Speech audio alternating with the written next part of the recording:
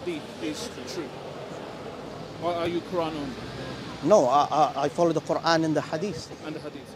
Okay, because you just Sunnah. said you just said that the the Quran's never been changed. Yeah? But in Aisha's hadith, she said that there were some verses that were lost, the verse on stoning and the verse on breastfeeding adults. She said that during the death of Muhammad, it was under her pillow and the tame sheep ate it, or a tame goat. Don't know whether sheep or goat, but one of the two.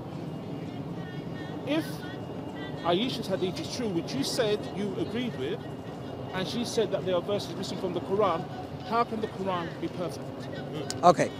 First of all, the primary transmission of the Quran is oral memorization, not by the written manuscript. So it really doesn't matter whether the goat ate verses or not. That's So- irrelevant. Wait, one second. the- You, you, okay, you, go, go, go. Secondly, secondly, um, the, the, the the breastfeeding, adultery, etc. If you know how the abrogation works, not all abrogation is in the Quran. Did you know that? There are four different types of abrogation. Okay, so so so this is. I think you need to look into this because there are abrogation during the time of the Prophet that the Sunnah, his teaching, got abrogated later on, but it's not in the Quran. And there are those. There are, and so, for example, for example, the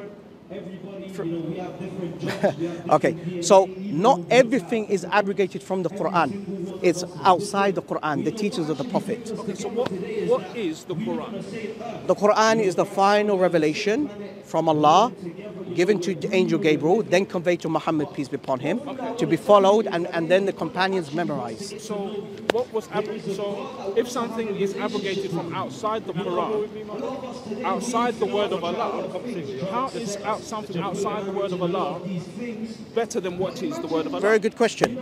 So here's a lot of misconception that a lot of Christians don't know.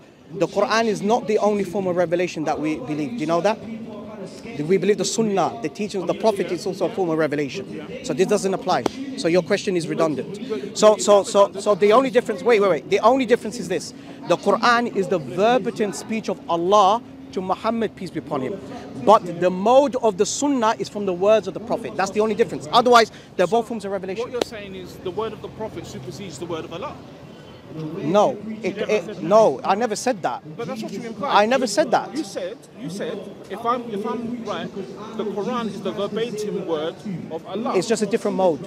But you said the Quran is the verbatim word of Allah given to Directly. given directly to Jibril, which he gave to Muhammad. Yeah? Yes. So if the Quran is No, no, no. Why? No, no, no. Focus what I said about the Sunnah. What did I say no, about the Sunnah? I'm, I'm, I'm talking about the Quran first. If the Quran is the verbatim word of Allah, Yes. how can the word of Muhammad abrogate the word of Allah? No, they complement. Okay. So they complement together. Okay. The only difference is the Quran is the direct speech of Allah to Muhammad. The Sunnah is from the words of the Prophet that's inspired. So Allah says in Surah Al-Najm, chapter 53, that the Prophet does not speak out of his desires, but it's an inspiration from Allah. Okay? So that's the only difference. It's just the different modes, but the two forms of revelation. Secondly, you mentioned, does the words of the Prophet, does it supersede the words of Allah? No, it doesn't. It complements. Why? I'll give you the evidence. Allah mentions in Surah An-Nahl, chapter 16, verse number 44. Allah subhanahu wa ta'ala, He mentions in chapter 16, verse number 44, from the Quran. Allah mentions, yes, yes, you could, you could open up. Allah mentions that it is He whom Allah sent His messenger to teach us, to teach us the book. He's our teacher. The Quran mentions, so the preservation of the Quran means it comes with the preservation of the Sunnah. If we want to understand the Quran, we have to look we have to look through the prophetic lens. Open it, chapter 16, verse 44. Yes. A lot of Christians don't know this. Oh, you guys don't know each other? No. That's why the Prophet was sent. He wasn't like a postman, just receiving the message. No, he's teaching us. So his teaching is the Sunnah. Whatever the Quran was revealed to him, the Prophet, peace be upon him, explained to us. When, uh, when the Quran is revealed, Yes. and then the Sunnah abrogates the Quran, No, it doesn't make no. The Sunnah is the commentary of the Quran. So they work together, chewing gloves. And, and the Prophet does not, uh, the, hang on, the Prophet does not abrogate out of his desires. I already said that to you. The Quran mentions in chapter 53, wait one second, the Quran mentions in chapter 53, one second, ab, okay, abrogation meaning cancellation. Okay, so for example, the alcohol. Allah mentions in Surah Baqarah chapter 2 verse 219, They ask you concerning wine. Tell them that in within them, within wine, there's some good and, and, and harm. But the harm outweighs the benefit. So Allah is discouraging now. Even though it's still permissible to drink at that time, but it's discouraging. Then Allah mentions in Surah Nisa, chapter number 4, verse number 43. Allah says, Ya ayyuhalladhina amanu, or you believe, when you stand up for salah, do not be in the state of intoxication. Now the salah has been legislated, you have to pray five times a day. So now a Muslim at that time, the, the companion, cannot pray if he's in a state of intoxication. But maybe they can drink overnight, nightclub, possibly. Then the final, then the final revelation of the of alcohol in Surah, uh, Surah Maida chapter 5 verse 90. Ya ya ayyuhalladhina amanu, or you believe, innamal khamri wa maisiru. Most certainly intoxicants gambling, wa anzabu azlamu, the education of stones, divination by arrow, arrows, rishtun amila shaitan. These are Satan's handiwork. Fashtanibu la'allakum tuflihun. Abstain from such handiwork so that you may prosper. So here, the Quran is a progressive revelation. It wasn't revealed in one book, it was revealed over 23 year period. So can Allah make a mistake? No, So why abrogate? because the society at that time was not ready to give up alcohol. The first call of the Prophet is not to give up alcohol. The first call of the Prophet is stop worshipping idols, stop worship created things, worship Allah, the God of Abraham, the God of Jesus, the God of Isaac. Yeah. Then slowly, when their faith is strengthened, right? It's like a therapy. It's like a therapy. Imagine if you find someone who's an alcoholic, you tell them straight, you know what, give up alcohol. It's not going to work it takes over time. Then when Allah, when the Sahaba, when the companions, when their faith are strong, they can give up alcohol. Do you know what happened in Medina? As soon as that revelation, the final revelation regarding alcohol is prohibited, the barrels of wine is flooded in Medina. There were there were drunken people. Now I want to ask you this question because you asked a lot of questions. but I, I want to throw it back to you. Yeah. How can one single human with no military experience, with no political experience, a shepherd, a businessman, no education, unlettered man, could neither read nor write, how is he able to, to transform from this barbaric nation who used to drink alcohol, who used to bury the females alive, to conquer Ro- Roman and Persian Empire, who were the two greatest empire at that time? You tell me that. You tell me that. Following the truth, one truth. Within two decades, within two decades, within two decades. He just followed his brothers. The thing is, Okay? I would ask you a different question. No, no, no, no. Answer my question. A- answer my question. How? Answer my question. Answer my question. Look, look, look, look, look. Answer my question. Abrogation is like amendments. You know, like for example, in America, you have second amendments, etc. The- It's based upon the- specific the Second circumstances. Amendment and all that is amendments made on a man-made Okay, document. let- this you said the Quran is the verbatim word of, Yes, of yes, Allah. yes. Then why would it need abrogation? Allah mentioned the Quran in Surah Baqarah, chapter number 2. Allah mentions, never do we abrogate a verse unless we replace it something better or equal to it. This is in Allah's wisdom. He knows, He knows, He knows that at this particular moment, the companions can give up alcohol at this particular time. So that's the reason why the Quran was not revealed in one book from So- heaven. so the Quran was, wait one second, the Quran was revealed over a 23 year period. Allah mentioned the Quran, indeed we have revealed to you Muhammad in stages. That's the wisdom of the Quran. The Quran is like a therapy, alhamdulillah, rehabilitation. The Quran was not revealed one book from heaven. Okay, that, that's what you said. But, That's what the Quran say and the Sunnah. Yeah. But you're saying that um, better verses abrogated the worst ones. Sorry? So the ones, the, the verses that got abrogated Yes. were replaced by better ones. Because Allah is all knowing. So, um, Su- um, Surah 9, verse 29. Oh, ah, okay. Go on, go on, go on. Throw it, throw it. No, you go on, explain it. No, you, you, you brought it up. You explained it verse to me. abrogated the, the verse where it said you can basically, your religion is yours, my religion is mine, and then it was abrogated by 929. No. Listen, This is do you know 929? A lot of, a lot of things have changed. By the way, chapter 9, verse 2. Okay, uh, oh, wait, wait, wait, okay, can I, can I- okay. Let's have, Let, let's have one word. let's see, let, let, let's see how much you know about the Quran, yeah? Okay, so let's see. Do you know what Asbab al-Nuzul is? No, no, bro, I'm not How No, no, wait, wait, wait, wait, wait, wait, No, wait. no, say, say, throw it back to him. How much you know about the Torah? One second, one How second. much you know about the Torah? I, I- I'm speaking to this gentleman. How much you know about the How much do you know about the Torah? Let's have a- let's About- have Huh? conversation. How much you know about the Torah? I know, I know quite a lot. Quite a lot. No, no. Why, why are we, why are we derailing? You mentioned chapter 9, verse 29. Don't answer. Yeah. Chapter 9, verse 29. Chapter 9, verse 29. Go on. Fight those who do not believe in Allah or in the last day, and who do not consider unlawful what Allah has and His Messenger has made unlawful, and who do not adopt the religion of truth from those who are given the scripture. Fight until they give the jizya willingly while they are humbled. What's your point? So this verse, where it says, "Fight those who do not believe what Muhammad and Allah has made unlawful," abrogated a former verse, which was basically "Live and let live." Okay, educate. Why? Okay, first of all, you have to know ulum al-Quran, the science of the Quran. You have to know the historical background, how the Quran was revealed. This is what I'm saying to you, that go, you haven't studied the Quran properly. The Quran was revealed over 20, 23 year period in specific circumstances in its historical context. Wh- When was this verse revealed? You tell me. I'm not going to say to you, you do your own research. And you come back to me, you come back to me, you come back to me, okay? You come back to me and you tell me why was this verse revealed, okay? So, I'm not going to spoon feed you. You're saying why? Why this? Why was this verse revealed? Yes, Why? I'm not going to spoon feed you. It was revealed because. No, why was this verse revealed? Do you know yes or Bro, no? I tell you why it was revealed. I tell you why it was revealed. You can, Okay, let's see. you can agree or not. But you just said you don't know. No, said to teach, no. Listen, bro. I've asked you, and you said. You're And I answered. I answered every said question. you're haven't even answered a single question of mine. What did you ask me? I asked you, why was this verse revealed? Okay, I'm going to tell you. This verse was revealed because Muhammad had finally got numbers behind him so that he could subjugate people. No. Before, when he was in Medina, Nope. he was weak. Before, No, you- you- listen, you you, asked me to tell you. You You, asked say me to no. tell you. I'm telling you. He's giving his Before, opinion. You when he can't was say in no. Medina, he was weak. So it. here not allowed. You This is not No, no, opinion Give matter. Excuse me, This is not opinion matter. Give- me evidence. This is real fact. when he was in Medina, No. he was weak. Real me matter. Listen, you Real asked me, Not opinion. Give me evidence, give me evidence. Excuse me. Don't lie. Excuse me. Before when he No, no, no, no. Show, show, look, look, your body language. Look, look, show me. One second, Look, face it. No, face it. Face it to me. Why are you facing it here? When he was in Medina, he was weak.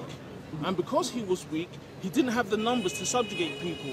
When he got to Mecca, he had more people. That's why he then Because he had turned. to round it up. It That's why new he then turned. So he doesn't and understand said- how Asbab al-Nuzul That's why. No, he doesn't. That's why he then turned. Okay, have you ever heard and- Asbab And al-Nuzul? ask him when, when this, this chapter. You don't know. Okay, When- let me let me let me educate you. Let, let me educate when you. this No, wait. You to Let me educate edu- let me educate I you. asked You you said to go do educate me. yourself. You asked me to, to, to tell you. Let me educate So, you. No, wait. I asked you to You're, educate you're making stuff up. Bruv, you asked me to educate me. This is recorded, You. I asked you to educate me, and you said no. I'm not going to spoon feed you. So now I've got the spoon. Listen. Give me evidence. Everything that you said, give me evidence. Watch out. Listen. They won't talk It's to do the Battle of Tabuk. I know, I know. They won't talk about the Don't tell Ottoman well, Empire. this I know, I know, this I guy know. doesn't know. Talk about the Ottoman Empire. It what- says what Islam had to fight. It doesn't say kill. It says fight. When you fight, is in war. Enslaved Africans. You just- you enslaved When you fight, Africa. Is it in context you of war or you, you just kill innocent people? trade, no? Google it. You're on your phone. Trans-Sahara slave trade. Google it. What did Islam do to Africa? Why you people always like to argue about religion? Thank you very much. I'm not here to argue. Talking. Thank you very much. You, you guys coming with. Have, Trans-Sahara- They came, they came with a negative agenda. I'm only here to convey the message of Islam. You like it? Take it. If not, take care of yourself. have you have you read Brother, Google it. You're on your phone. T R A N. have you read your Bible? I don't feel. No, no, no. Honestly, don't, don't, don't engage. Don't engage. Don't engage. It's to do with the. It's to do with the Battle of Tabuk to the Romans. It was in the context of battle. No, no. Your Bible say. Your Bible say. Your Bible say. And your I'll Bible quote say- you. Let me quote you First Samuel 15:3. Shall I? Your Bible say. Your Bible Huh? say. Kill the babies. Kill the children. Kill the animals. Yeah. Shall I show? Shall I show you First Samuel 15? First Samuel 15. Yeah. Let's let's open that. Let's take your stand. By the way, Benjamin Netanyahu uses this verse. Exactly. Benjamin Netanyahu Oh, okay. using Let's see. these What as to justify their killing of Look, the look. babies. By, by the way, by the do way, you condemn uh, killing I- the uh, uh, babies? I- I- honestly Do you speaking, I don't like this. I don't like this. I don't condone I, any I think I think it's very unhealthy. No, no, killing people. But listen, you can't First Samuel 15:3. Do you know? First Samuel 15, promotes killing people. Yeah. You can't say that. Amalekites, Yes. First Samuel and 15, 15, 3. Not all And by the way, Benjamin Netanyahu uses this to kill the Amalekites, who were the original Palestinians. Okay, so Because of Bible they are okay, this is what the Lord Almighty says. I will punish, I will punish the Amalekites for what they did to Israel when they waylaid them as they came up from Egypt. Now go, attack the Amalekites and totally destroy all that belongs to them. Do not spare them. Put to death men and women, men and women, children and infants, cattle and sheep, camels and donkeys. You will never find something like this in the Quran. It is of the Prophet. In fact, the Prophet, yes, the Prophet, What if I show you something worse? the Prophet, peace be upon him, in the Hadith. I'm giving you evidence. What if, what if I show you something Let me give you the evidence. Let me give you evidence. The Prophet, peace be upon him, found an innocent, an innocent person getting killed in battle. What an uh, innocent woman getting killed, and the Prophet said, "Why did you do it?" It is prohibited. At least we Muslims, we have ethics in war. You have nothing. You can kill donkeys. You can kill donkeys and children, women and children, women and children, women and children. Don't come and lecture me about the violence of Islam. What does this prove? Sorry. What does it prove? Go on, justify. Go on, justify. Justify. Justify What are you this. trying to prove from it? Go on, tell me. Tell me. What are you trying to Justify. prove from it? First of all, Justify. What are you trying to prove? What was the first words of that verse? It says, Samuel said to Saul, I am the Lord. I am one. The Lord sent to anoint you king. He came to debate. He came to debate. I am the one. I, he came to debate. I was speaking to a very nice Christian gentleman. They came and interjected. Okay. I am the one the Lord sent to anoint you king of his people Israel. Were you talking to them about Islam? No, no. All I did, there was a nice Christian gentleman. He just wanted to know about Islam and about Christianity, right? And he wanted to go. But out of his goodwill, he just wanted to know more. This gentleman came here and doing, you know, shotgun tactics, right? Derailing the conversation. So I said to I said to the gentleman, I said to the gentleman here that look, let me finish my conversation with him, then I can speak to you one to one. when Then talking to oh, so- that man, you were one talking second, about madam. Islam. Yeah, about Islam and Christianity. Then And this gentleman, yeah, and Christian. Then? Then the, then this gentleman came over, and without asking my permission, he says, "Can I ask you a question?" So this is very rude, no courtesy. Madam, you're a good person. You're a good person, you're madam. defeated, you have this type of response. Do you know what Allah says in the Quran? answer this, when you cannot, Do you know? Do you know what, madam? Thank you very much, madam. Thank you you very much, madam. answer, this is your tactic. Thank, thank you very much, madam. Guys, guys, guys, guys, Let the madam speak. Let the madam speak. You were teaching Islam. Yes. I was teaching Islam. You were Yes. teaching Islam. I was not attacking Christianity okay, hold on. Were you teaching anything about Christianity in your Islamic teaching? because he's being disingenuous. He no, no, came no, to me. Yeah. When you were teaching Islam, were you teaching anything about Christianity in what you were teaching that person? Some, no, no. I I was only conveying the message of Islam, and then he asked a question about Christianity, and then I just. no, because then you the him to say you have to ask your pastor because you know what? It's why I think sometimes there's a Okay, I, re- I respect your opinion. Guys, guys, listen. No, madam. Come on. No, madam. Ma- no, madam. Madam, I respect you. But, Listen, let me, Ma- let me just say, madam. I asked the man who was talking to me if he minded if I asked a question. The man said, I answered all of he his questions. He said, but you haven't asked me. So then I said, do you mind if I ask a question? And he said, yes. Why are you saying that I came? madam, you're the arbitrator here. I really appreciate it. Madam, I respect you. By the way, do you know Allah says the Quran about the Christians? Laysu sawa, not all are the No, same. listen, hold She's a on, good hold on, person. Hold on, listen. If You came with- you Guys, came with an ill can I just intention. If you're teaching Islam, teach Thank you very much. But he came here. He came. Thank you, madam. Thank you. That's what I'm doing. Thank you very much, madam. The thing is, he's insulting Christianity. I'm saying you insulted teach- Islam. no, don't You insulted. No, no, You no. Is the Bible, insulted. okay, is the Bible Listen, corrupt? you know Yes, of course. See? But is that disrespect? Is that You said- disrespecting? that's you're saying that the Bible is Quran. But I never used that. okay, because it's not. Because I never said you weren't even there in the conversation. That's what I'm saying. Let go, because you know what you know what it's. Thank you very much, madam. Thank you.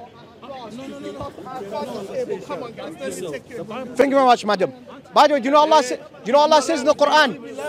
Be educated. Madam, madam, do you know what Allah says in the Quran? I'm not allowed to generalize Christians. I'm not allowed to generalize Christians. Because you know what? Do you know what? I can Yeah. say this complete, confidently. My grandfather was a chief imam. My mother was born Mashallah. Marinat and he converted to Christianity. Mashallah. You know, people should respect each other. If you're Thank you very much, teaching madam. Islam, That's what I'm doing, madam. Don't talk about Christianity thank you very much, because you are teaching Islam, you don't know about Christianity. You That's- understand? yeah, that's your opinion. I respect that. I respect speak that. about Islam, 115.3. you speak about Christians. So Yeah. please, come on. No, I respect that, madam. You, uh, uh, madam, madam. Wait, wait, one second, one second. Madam, madam, I respect you for that. Do you know, do you you know what Allah says in the Quran? We Muslims are not allowed to generalize Christians. You know what Allah says? Laysu sawa. They're not all the same. There are some Christians who are good, but there are some Christians who are not good. Just like the Muslims. There are some Muslims that are good, some Muslims are bad. Just teach about Islam. No problem. That's what I'm doing, madam. Thank you, discussion. Roger. Thank you. Thank you very much. They are doing. Assalamu alaikum wa rahmatullahi wa barakatuh. Ah, man. Subhanallah. I ho- hope all of you are doing well, brothers and sisters. Now, look, first of all, I- I know a lot of people would say that I could have been a bit more calmer. That's one thing I need to work on. But I can't have Christian gentlemen who came here with an in intention, okay? You know, you know, indirectly trying to insult the, the Prophet okay? And I, as a Muslim, cannot take that. I'm sorry. The, the, the previous Christian gentleman, the first Christian gentleman, he was very nice. Just wanted to know about Islam. He read some parts of the Quran. So I was having a nice conversation with him. Then you had one Christian gentleman that came, tried to derail the conversation. Then you had another Christian trying to derail the conversation. And then he went out of control. So um, may Allah subhanahu guide, uh, I think his name is Jared. I think his name is Jared. May Allah guide him, I mean. And may Allah guide them as well. Ameen. So they were asking regarding uh, abrogation. Uh, they were asking about uh, Aisha rad anha. You know, uh, a verse was ate by, by the goat. Obviously, I responded. I don't want to repeat again, but um, but yeah, may Allah forgive me. You know, I mean, may Allah forgive all of us. May Allah guide them. I mean, Yeah, subhanAllah, with this same chapter, Allah subhanahu wa ta'ala mentioned that لقد جاءكم رسول من أنفسكم عزيز عليه ما عنتم حريص عليكم بالمؤمنين رؤوف رحيم فإن تولوا فقل حسبي الله لا إله إلا هو عليه توكلت وهو رب العرش العظيم There certainly has come to you a messenger from am- among yourself. He is concerned by your suffering, anxious for your well-being, and gracious and merciful to the believers. But if they turn away, then say, O Prophet, Allah is sufficient for me. There is no God worthy of worship except Him. In Him, in Him I put my trust, and He is Lord of the mighty throne. So, subhanAllah, MashaAllah, Allah talks tabarakallah. about our Prophet Sallallahu Alaihi Wasallam and his importance and how Yeah. he loved his ummah and how he was Wow. anxious for was the merciful. suffering of the ummah. وَمَا أَرْسَلْنَاكَ إِلَّا رَحْمَةً لِلْعَالَمِينَ All we hear, you know, Allah will honor His deen and Allah will protect His deen. We are just trying to answer the question. They, they come with an intention, ill intention. yes, yes. And the ill intention is to provoke Islam, derail Islam, and confuse people with their rhetorics. But subhanallah, our deen is beautiful, our deen is clear, and they, you know, they without research, they don't even know what's in their Bible say. The Bible say 1 Samuel 15, and the whole chapter is killing babies, killing children, innocent uh, human life, you know. So uh, the sanctity of human life has been completely broken.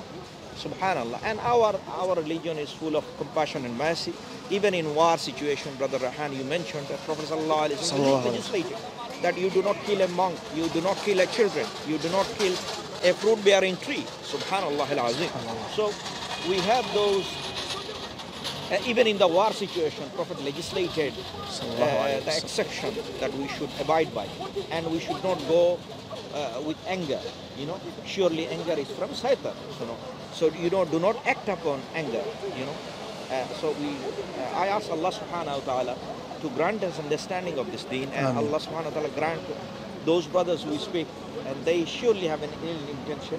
We ask that Allah guide them to Islam, and Allah, you know, and uh, uh, you know, and let's take this opportunity to uh, make sure you make dua for our brothers and sisters in Palestine.